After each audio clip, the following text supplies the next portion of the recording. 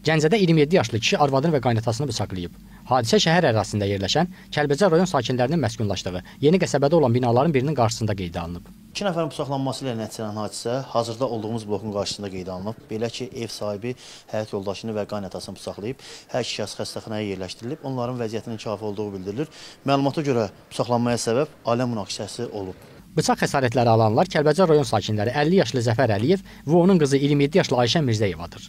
Araşdırma zamanı məlum olub ki, ata ilə qızını ailənin kürəkəni 27 yaşlı Kəlbəcər rayon sakini Məhəmməd Mirzəyev bıçaqlayıb.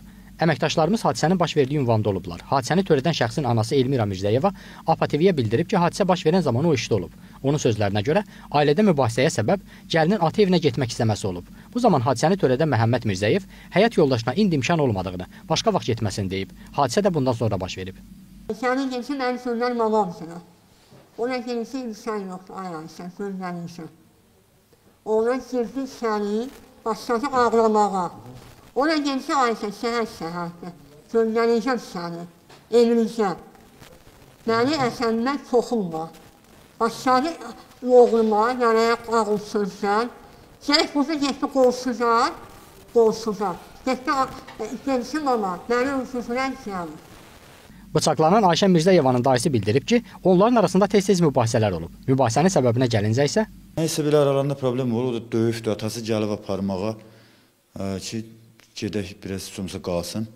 O da elə binanın qabağında düşüb vurubdur. müxtəlif bıçaq xəsarətləri alan ata və onun qızı Gəncə şəhər birləşmiş xəstəxanasının tabeliyində olan Abbas Səhət xəstəxanasının cərrahiyyə şöbəsinə yerləşdiriliblər. Hər iki şəxs əməliyyat edilib.